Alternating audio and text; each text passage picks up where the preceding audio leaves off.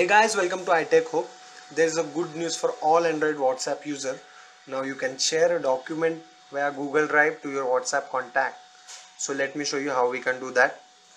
Open your WhatsApp, select the contact, click on the attachment, click on the document, browse other docs. From here you can select your Google Drive option. So let's say this one, my drive so from here you can select the either document or PDF or PowerPoint presentation which will be automatically converted to PDF format before it goes to other recipient. So let's say this one document file. Send.